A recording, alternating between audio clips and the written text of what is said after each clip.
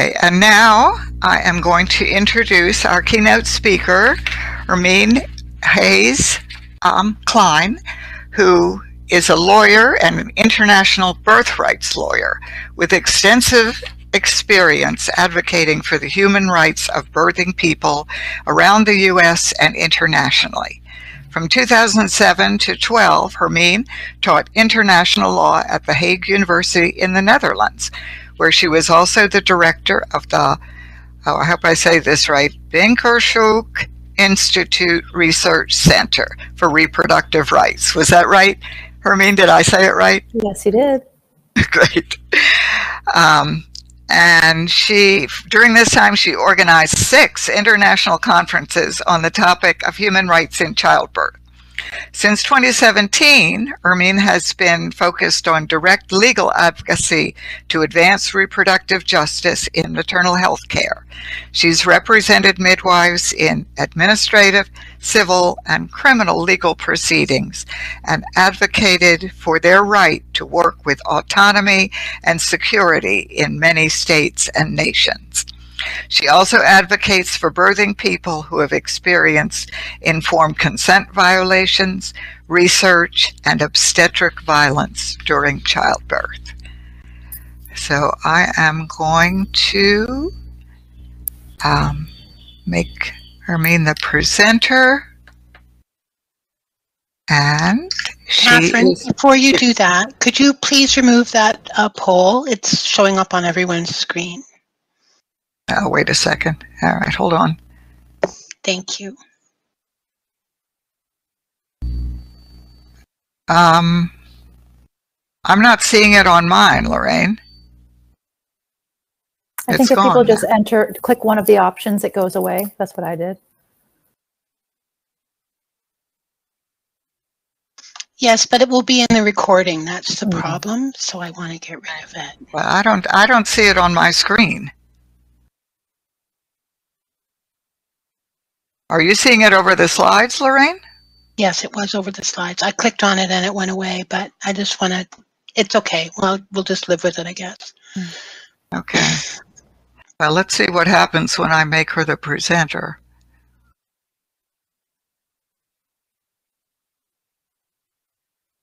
Make presenter. Okay, I'm I'm not seeing anything over the slides. Me neither. It should be okay. I think it's going to be okay. We're good to go. Just go. Yeah. Okay, well, thank you so much, Catherine, for that introduction. and thanks to the organizers of the conference for giving me this opportunity to come and have the honor of sharing an opening keynote for the virtual International Day of the Midwife Conference. Um, it's really feels very special to come together with this global group of midwives at this moment to talk about um, quality of care and trauma informed care given especially what we as a global community have been going through for the last couple years and some of the intensities that have developed in recent months. Um, I, I think that a lot of people all over the world are experiencing increased fear, increased sense of alienation and division and, and anger. And in moments like this, the need that we all have for midwives uh, becomes all the more clear, and the power of midwives working together to perpetuate the care that you provide again is underscored. Um, you know it, in a time when people are feeling uh, frightened and alone it- just the the power of what you offer quality midwifery care that makes people feel held that makes them feel supported in their most vulnerable life moments it has the ability to sort of stand as a really effective force uh, in the face of all the confusion and other things that people are facing around the world. So it's really an honor to come together in support of all of the um, good work that you all do and the power that uh, is is just part of you coming together for a conference like this. So, as Catherine mentioned, I'm an attorney. Um, I gave birth to both of my children with midwives, with it- one midwife in particular in the Netherlands in 2007 and uh, 2010, while I was also living there and, and I also taught law um, at The Hague. And through those experiences of giving birth in, in a relatively excellent maternal health care system that uh, offered, you know, a fully covered postpartum care, for example, and a meaningful choice of where to give birth, uh, whether at home or in a birth center or in the hospital, I came to really sort of uh, study and look at the way that women are treated in childbirth around the world and the way that systems are constructed, in part because the Dutch birth system is so midwife centered. Midwives are the first line of care for pregnant people, uh, which made me really look at well, why do we do things the way we do back in the United States? And discovered then that the elimination of midwifery in the United States during the 20th century really never had much to do with the needs of pregnant women or babies any more than many of the um, standards of care that developed in obstetrics, like putting women on their backs with their feet in stirrups, never really had much to do with what was helpful for pregnant women and the births of their babies. And so 10 years ago, uh, shortly before moving back from the Netherlands to America, to Oregon, with my family, um, I organized a conference, my first conference related to childbirth on the topic of human rights in childbirth, together with a group of doulas and midwives um, and activists called the Geboortebeweging in Holland, a group that, that came together to talk about the um, patients' rights in childbirth and, and how systems can be control, uh, improved.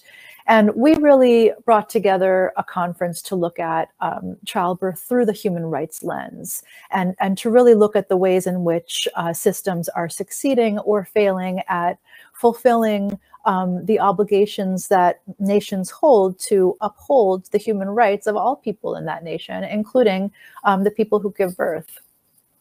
And um, that lens um, has been very, it's been very powerful in the last decade at causing new inquiries um, to be made into childbirth. Uh, the World Health Organization, the United Nations, they have um, uh, issued reports and investigations into um, the way that women are treated in childbirth, looking at issues of disrespect and abuse um, and um, the mistreatment of birthing people, and even at the issues that Latin American activists have identified as obstetric violence. Um, and bringing that rights frame is very important because it helps us to understand, to remember that human rights are non-negotiable and that when a nation makes a commitment to uphold them, they have to be um, protected um, absent extraordinary circumstances. And, and so that gives us a, a tool to really look at um, how are maternal health systems operating uh, in a, in a new and effective way. And that includes looking at the right to midwifery care, which has been violated in nations where um, uh, anti-competitive obstetric behavior or the pursuit of a medical monopoly over maternal health, health services has led to restrictions on women's access to midwifery care, has led to legal insecurity um, for midwives and their ability to legally and safely practice and independently practice in all settings, um, the security of midwives is essential to the fulfillment of birthing women's rights to access midwifery care. And maybe this is a good moment to mention that in the course of, of our talk today, um, I will talk about women and I will also sometimes talk about birthing people interchangeably to acknowledge that not all of the people who have uteruses and give birth identify as women and identify um, as trans men uh, or, or um, as birthing people. And but at the same time, it's also I also often refer to women because um, women do give birth. Women are among the people who give birth. And many of the um, ways that women are treated in many nations around childbirth is a result of how they are perceived as women by the people who are treating them that way. So it's important to be able to talk about that. But if human rights has sort of offers offers one lens that we can use to talk about childbirth and the way that we treat women in childbirth and the ability of mid midwives to practice within maternal health systems, another helpful frame is that of woman-centered care or patient-centered care.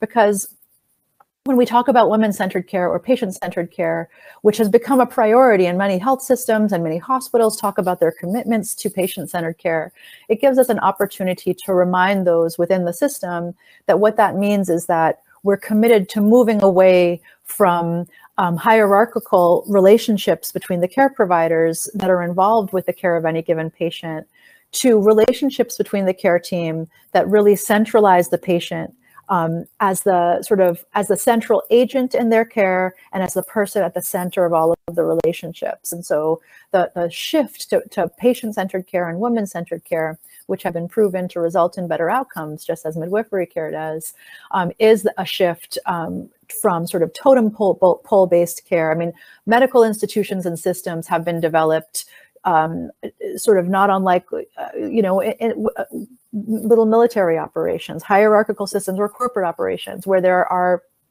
systems of command and that that can result in hierarchical systems in which there's sort of a doctor and maybe there's a midwife below that and a nurse below that and the patient somehow at the bottom of this totem pole.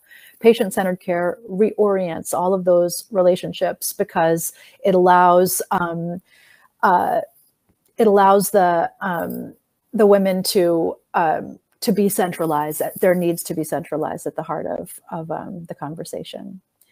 Um,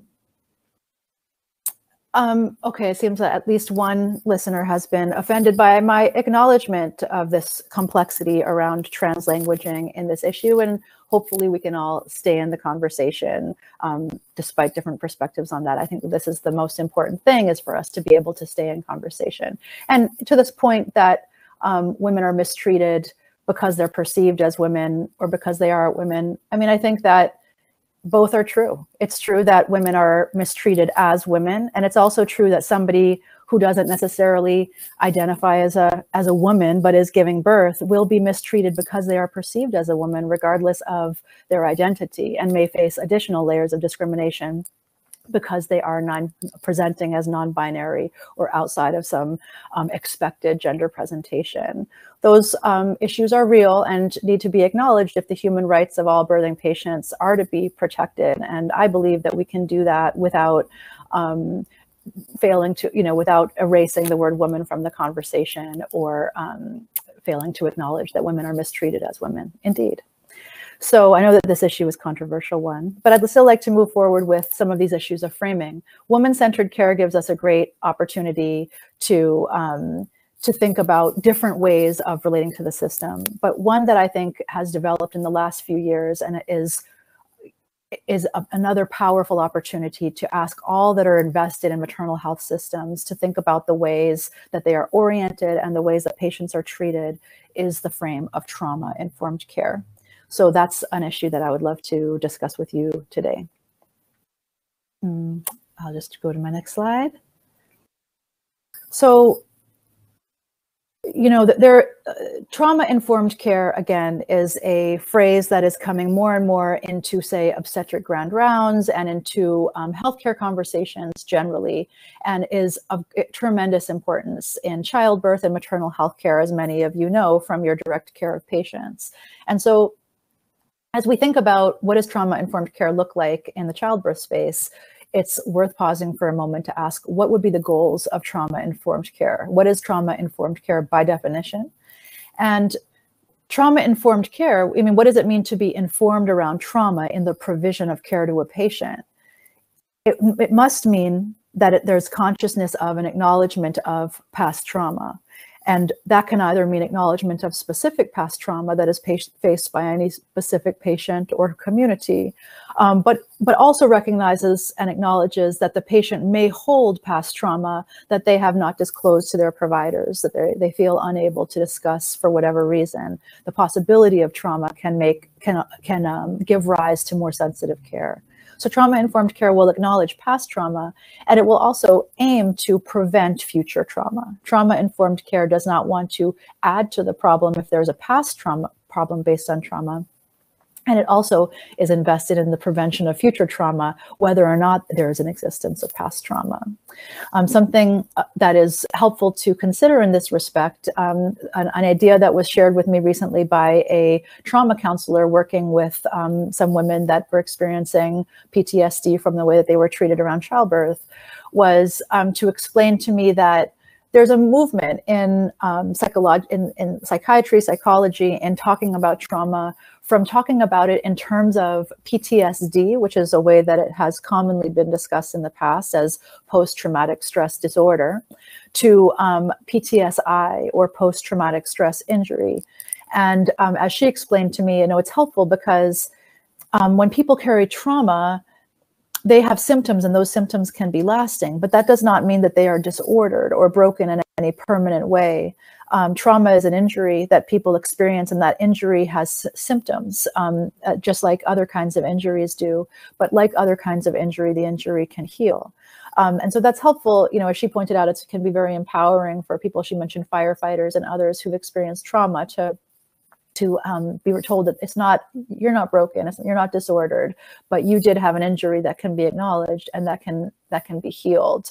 Um, but it's also helpful because it recognizes that injuries can be caused by others whether people do that intentionally or unintentionally um, injuries can be caused and trauma is an injury that can be imposed and is, is far too frequently imposed um, on birthing women by the providers who they entrusted to care for them.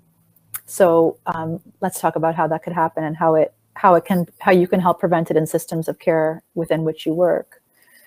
I mean, I, I think that there's uh, one of the powerful ways that all of you can contribute to trauma informed care, of course, is not only the way that you relate to your clients. I mean, as midwives, you're already um, at the forefront of trauma informed care because um, individualized care is a cornerstone of your work, and informed consent is the cornerstone of your work. Um, but uh, you, are also part of dialogues within your healthcare communities about maternal health care, and, and hopefully, if you know if you're not at the the table with your government and your community systems yet, um, you'll push your way up there and get your voice heard. Um, because you can add the perspectives and the knowledge that will otherwise be missing from those conversations in shaping policy. And so that's you know in in bringing these helping to advance these conversations within your community about trauma informed care it, it sort of requires reflection first of all of the kind what the forms of of past trauma that might affect the needs of the client that any given provider is is working with at a given moment. Um, you know, one of the values of the recognition of trauma, trauma informed care, like we said, it recognizes the possibility of past trauma.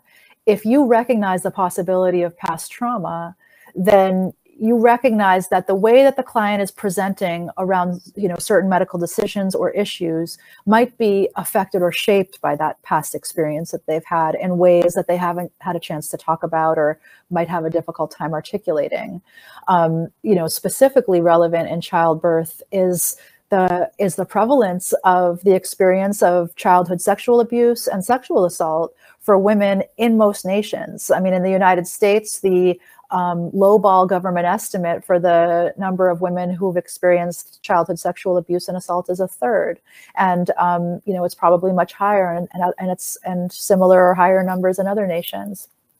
So, understanding that um, is going, you know, and and if there is space within the care encounter for the recognition of that possibility, then it's going to give rise to more compassion on the part of the provider, um, more respect for the patient's decision making process. I mean, very important to uh, informed consent decision making processes is recognizing that the client has the right to make their decision on the basis of their perspective, not your perspective. And that can be difficult or frustrating for providers when the patient is making decisions that appear irrational to the provider. Um, and or if the way that the patient is behaving around the decision making process appears irrational. But um, training in trauma and understanding how trauma affects behavior explains a huge amount of that, um, and especially you know around encounters that involve touching of intimate parts of the body um, by strangers even well-meaning strangers uh, during a time when somebody is feeling extraordinarily vulnerable the possibility of triggers in an encounter um, in, in, in all of the encounters related to childbirth is significant for anybody who's a, a experienced past sexual abuse. But of course, you know, sexual abuse and assault are only one form of past trauma um, that can be affecting this encounter. There are community traumas um, like war and um, natural disaster and um, disease and other kinds of issues that communities face around the world, as well as you know home insecurity, uh, domestic insecurity, etc.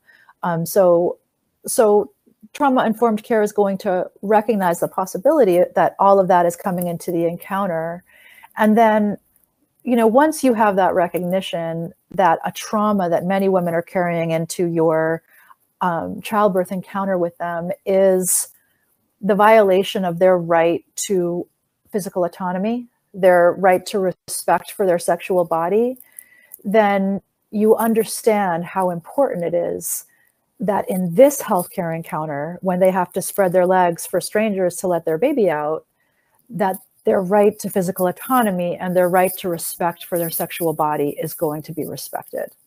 So you know, many discussions that I've heard of trauma informed care that are presented by well meaning medical professionals um, have discussed, um, you know, the importance of it, talking slowly to the woman or telling her slow why we're going to do this or that. But it's very important to understand that communication is important, is an important part of informed consent. But the most important part of informed consent is consent. And especially understanding that the level of trauma that women have experienced through the violation of consent, you understand how important it is that at this moment when they are coming in at their most vulnerable, they'll never be more vulnerable than when they're in labor. And, and wanting so much for something beautiful to happen, to be able to welcome their baby, and coming in with so much hope and trust with regard to the providers, when when those when the, when their rights to ownership of their body and respect for their body are violated, the result is more trauma, and not just more trauma, but but the, I mean, I heard yet from a woman today. I mean, the, over and over they describe it as the most traumatic day of their lives, and I've heard I heard a woman just I think it was two weeks ago explained to um, the head of obstetrics at a hospital where she had been subjected to a forcible vacuum extraction, that she had experienced sexual assaults uh, in the past. It was a trauma that she had carried and resolved, but that the trauma that she experienced felt much worse and more of a violation than the sexual assault that she had experienced in the past. And, and why? And in large part because of the vulnerability and because of the, the trust and the betrayal of the trust. Um, as Catherine mentioned, um, um, I advocate for the right of informed consent and the right to freedom from discrimination to be made meaningful in maternal health care um, with policies and trainings for their protection and with accountability for their violation. And so um, here in the United States, what we found is that the only meaningful way to get the hospitals to come to the table and take these claims seriously is through lawsuits, through the filing of lawsuits, because the liability risk is the only risk that they tend to consider meaningful in terms of shaping behavior and practice. And so, just you know, the, an example of the kinds of uh, experiences that lead women to be diagnosed with PTSD following childbirth. Um, that and these are just ones on cases that I've worked worked in you know, or I'm working on now. Um, you know, one involved a uh, a nurse that forced a nitrous oxide mask on my client, um, my, who was a teen mom, and uh, the nurse didn't want her making noises and wanted her to be quiet, and she wouldn't take the epidural, and and so she gassed her with nitrous oxide, even though the one of the most important standards of care for the administration of nitrous oxide is self-administration only the mask only needed to be held over her face for a short amount of time for her to be permanently traumatized. Um, you know, the the use of vacuum and forceps on women without you know explanation or permission. So there's a blip on the heart screen. Everybody runs in, and um, the women are are uh, subjected to these instruments being used between their legs on them with forced violence and and sometimes a panicky uh, atmosphere and nobody explains to them why they're doing this, why they want to do this, let alone asks them for permission. That's a violation. I mean, of course, all of these are violations of the patient's rights. Nobody has the right to do anything to a birthing patient without looking them in the eyes, telling them what they want to do and why, um, answering as many questions as they have regarding the risks and alternatives to the thing they want to do, and asking the clients permission if they want to proceed with the proposed plan. But um, as I, you know, sometimes say in my in my discussions on this topic, you know, how much would change in most labor and delivery wards if it was really true to everybody in that room that that nothing could be done to the birthing patient without looking her in her eyes and and getting permission in the way that I just discussed, it would transform the dynamic in that room um, in many places. And um, if it if it wouldn't transform the dynamic, if that's what really is already happening at the institution where you work, then y'all should congratulate yourself and teach some others how to do that. But in most places, it would be transformative of the dynamic. And the reason for that is essentially that there is a significant gap between the law of informed consent, which and bioethics of informed consent, which says very clearly what is supposed to happen before medical decisions are made, and the uh, and the culture of obstetrics in which informed consent is often sort of treated as irrelevant in practice. And um, you know in case uh, you know in case there's any confusion about whether the presence of the baby means that pregnant women or birthing people lose their their constitutional and human right to physical autonomy and medical decision making um, they do not. And the European Court of Human Rights has made that clear in a case of Konovalova versus Russia. Um, the American College of OB-GYNs has made that clear in, in statements by its ethics committees on, um, on maternal uh, decision making and refusal of medically me recommended treatment. Um, even if the doctor or the midwife thinks the baby is going to die as a result of the woman's decision, uh, they must support her right to make the decision about, about her body throughout the birth process. Um, and one reason why that's so important is that doctors are often wrong in thinking that the baby's about to die. Um, the electronic fetal monitor is often wrong in predicting fetal distress. Um, and so understanding the limitations of the um, provider's ability to actually predict what's going to happen, um, again, can grant a little bit more humility and more compassion in that um, consent process to avoid um, situations that result in the kinds of trauma that that far too many birthing people are carrying around after childbirth. Um, but trauma-informed care, in order to, to be effective and make meaningful change, um, has to recognize uh, the trauma of all involved and how the trauma of all involved in the healthcare encounter can contribute to more trauma for all involved um, because the birthing patients are not the only people whose trauma and past trauma and potential future trauma are relevant to this encounter and playing out in this encounter.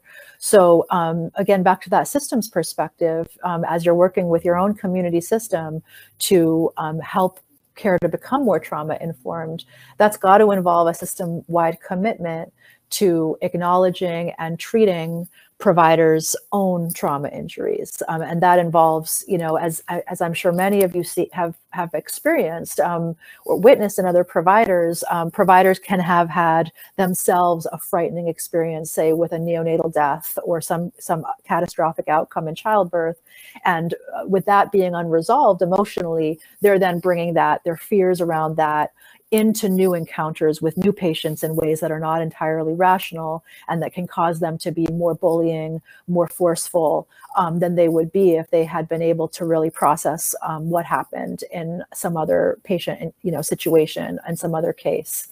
Um, you know, bur burnout, exhaustion, compassion exhaustion, you know, uh, all providers have been working in stressed systems the last couple years and in, in, in, many different ways. Even if you're an independent home birth midwife, the stress on that system has been affecting you. Um, and so um, recognizing the ways in which uh, the stress and strain on the system, on its resources, and on the providers themselves um, impact their ability to relate to clients in respectful ways um, is critical, and um, and and and also constructing those patient encounters in ways that allow for the providers to be able to provide care that respects the human rights of their clients. Um, you know, in order, as you know, as midwives, in order to give birth, mammals need to feel safe, and in order for those mammals to feel safe giving birth, the people around them need to feel safe and relaxed enough for that mammal to be able to relax herself and give birth. Um, that fact really underscores the fact that our systems need to allow for um, the well-being and the mental health of everybody involved in the system. Um, and so, you know, I mean, again, midwives, you are the global leaders in the humanization of maternal health care. The, str- the stronger you are within a system, the more humanized the care provided to birthing people is, the more woman centered the care provided with that in that system is, the more individualized and rights respecting it is. Through your rediscovery of how physiological birth works in the last 50 years, um, you have transformed what is possible and what what um, both providers and patients within these systems understood to be possible. And you are still doing that. You are continuing to evolve maternal health care everywhere to systems that um, are humanized, that understand and support physiology while providing emergency obstetrics when appropriate. And, you know, one more piece of that is um, this trauma informed care piece. You can and must lead on this piece. You cannot wait for the medical providers to do so because you are the leaders in understanding the holistic picture on childbirth and how the psychological well-being of that of that mother affects how her pregnancy goes affects how her labor goes affects postpartum and affects the well-being of her families. And you know as again as you work within your systems to challenge some of these dysfunctions, I think it's worth reflecting on the fact, you know, often when we hear about the abuse of women, the C-section pandemic, or whatever else is going wrong within maternal health systems that abuse patients, we hear excuses that are really about system dysfunction, like, oh, well, there's a liability crisis, so that's why we have a 30 plus percent C-section rate, or um, you know providers are you know resources are strained or providers are exhausted or um, you know, the list goes on, and I think you've all heard the, the list. Um, but what we what you, what's worth noticing is that what's being said here is, well, we've got, say, a liability crisis, so therefore that woman gets to have a surgery that she doesn't need, that quintuples her risk of dying, and that quintuples her baby's risk of dying. That's not acceptable because what we're saying there, when we accept those kinds of excuses, is that it's acceptable to violate the human rights of birthing people in the face of seemingly intractable system dysfunction. But again, the human rights frame offers us the possibility to remember that human rights are non-negotiable. If we if we commit to respect for your ownership over your body and that you own your body in all situations, including healthcare encounters, then we have to take the violation of that human right off the table as an acceptable solution to whatever system dysfunction is present.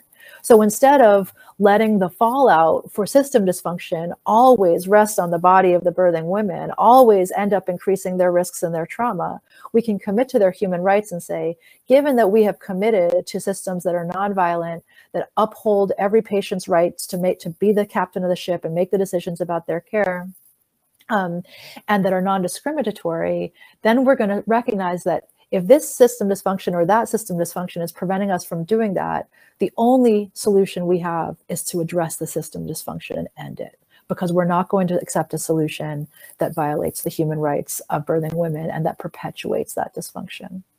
So um, women need to lead in standing up for their own rights. I know that you as midwives can't stand up for them, but they also need you to stand up with them and to help drive those system changes that make those rights a reality. So thank you all of you for your commitment to this work that you do and for showing up as you do all over the world to serve your communities and offer humanized uh, support for physiological birth and uh, emergency obstetric services to the people who need you there. So thank you again. I'm honored to have a chance to speak with you today, and I'd love to hear what y'all want to talk about.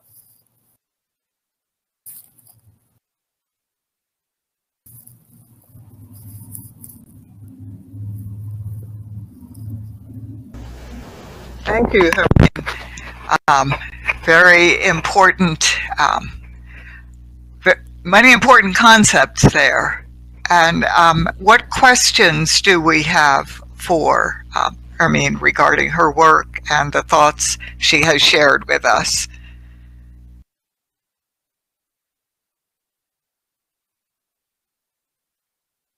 Celine says that it's inspiring. Margaret that it's powerful. Uh, Susan Rachel, um, oh, shares that the, the topic was the foundation of her doctoral research. So great. I have to go to another room. I appreciate you so much. Stay in the fight. Maybe I'll respond to Paulo's question here regarding obstetric violence and whether that's an issue in Latin America. I, I think um, uh, no, it's not only an issue in Latin America. The naming of obstetric violence came out of Latin America.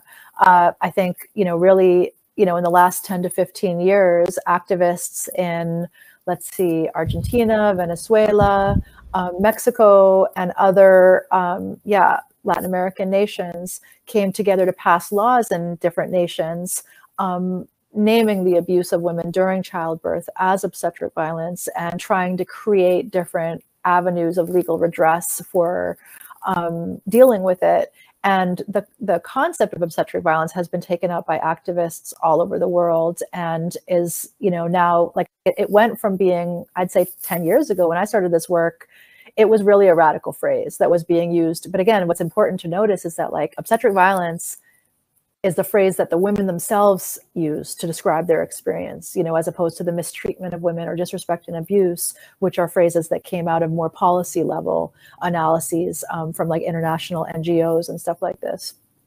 So obstetric violence has really been picked up by women's groups and now has evolved to the point that you now have, you know, uh, documents coming out of the World Health Organization and the United Nations naming and acknowledging that as, as an issue that needs to be addressed in maternal health care because it's it's an issue anywhere that um, sort of power power over dynamics are used to abuse uh, women around childbirth.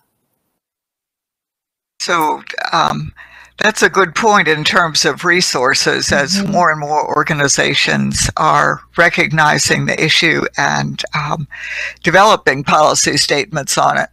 But yeah. Cecilia Jevitt would like to know what you think are the most important tools for bringing physicians and hospitals away from their fear of liability. I'm um, sure, so, as, I'm sure, as a lawyer, you'd love to address this one, right? I would. So, I mean, I, I, think first of all, I can say that there is an extensive body of research, law and economics, and other kinds of research that have looked into the question of whether um, liability or liability crisis are in fact the driving factors for, for example, the C-section pandemic. And what those studies have shown is that it's not actually so much about fear of liability, that's more of a cultural story within obstetrics, that it's more about financial incentives and time convenience incentives that are then uh, sort of ha- maybe happening on an unconscious level and that get sort of covered up with a fear of liability story and so that that data is valuable in bringing to those conversations but i'd say the most important tool is what i said at the end which is uh, we hear you about your liability crisis and your fears around this, but let's talk about what we're talking about here. You're telling me that your liability crisis is going to make you make her strapped to an electronic fetal monitor that we know massively increases her risk of having a C-section that she doesn't need and doesn't actually offer any benefit, measurable benefit for her and her baby. And our position is that she has the right to that information and to decide whether she wants to use that monitor as opposed to intermittent monitor, monitoring, for example, or whatever it is that's at stake in the liability conversation. If you just bring it back to, I understand your fear, but we don't get to increase risks for patients based on liability fears, and we don't get to violate their patient rights based on liability fears. Like we can deal with the, the liability fear, but neither of those are acceptable solutions to the fear because really pin them down on this. What you're saying when you say, my fear of liability made me push her into a cesarean that I don't really think she needs is that I just increased her risk of dying and her baby's risk of dying because I'm afraid my liability premium might go up. That's privileging a financial, again, that uh, ultimately a liability fear is a financial incentive because that's what's at stake around that.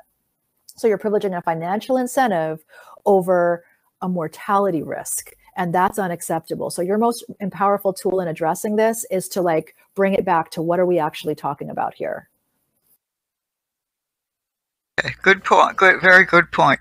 I want to scoot back a little bit to um, a comment during your talk, in fact, the first one, that, I mean, just if you could clarify, because uh, mm-hmm. somebody was upset that you mentioned the oppression is because they're perceived as women, mm-hmm. but that it's actually because there are women.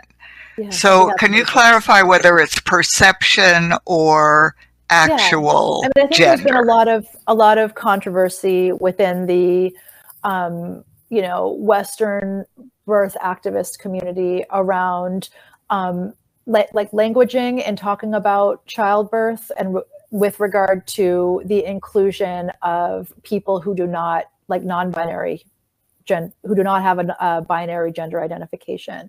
And so you know it's been very important to um, some people within the birth community that uh, conversations around about childbirth and the people who give birth includes the word people to acknowledge that um, some of the people who give birth do not themselves want to be called women and that that is that is just part of the individual situation that they bring to this conversation that needs to be recognized.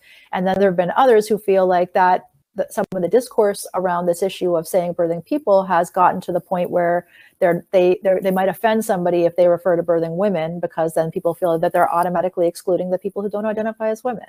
I think that a way that um, you know it, it, this is a, a trick you know it's a tricky thing to navigate because it's important for everybody to feel represented and included in a conversation about human rights. And all i can do is explain my relationship to the topic which is to both attempt to recognize that there are people who give birth who don't, don't identify as women and to also continue to talk about um, birthing women with female pronouns um, because many of the people who are giving birth do identify with those pronouns and also because the issues that I am addressing legally are about gender discrimination. And so they are about the mistreatment of women as women. And so, you know, I, I think that what Nikki wrote above was women are abused, are oppressed because they are women, not just because they are perceived as women. And again, I would just say it's probably both. The vast majority of time, it's probably as simple as they're oppressed because they are women. And because the person sees that they're a woman. But I think in the case of trans people giving birth, you know, whose experiences also matter, um, it can be that they are perceived as women and they're being mistreated because they're perceived as women, even if they don't perceive themselves as a woman, um, or because they're perceived as a woman and um, subject to discrimination against them for being a trans person. What I have learned about discrimination in my last 10 years of fighting for people's right to non-discrimination in childbirth is that sex discrimination is like a baseline level of discrimination that is driving the fact, for example, that informed consent is ignored in the culture of obstetrics. Childbirth is still basically in a pre-feminist state. But beyond that, I've learned that for every layer of additional discrimination that is projected onto the body of the birthing person by the people that, who she has entrusted to care for her at this vulnerable time, she's more likely her she's more likely to be disrespected and abused. She's more her voice is less likely to be heard. She's more likely to die in childbirth and she's more likely to see her baby die in childbirth. This is why we see, this is one of the reasons why we see mortality disparities for historically marginalized groups all over the, the world is because, again, layers of discrimination being projected onto the body of the, of the, um, of the birthing person. And, you know, discrimination against trans people is, is just one form that discrimination can take in childbirth that has been considered relevant to the birthing community. Thank you so much for clarifying and for your very powerful presentation. My pleasure. Um,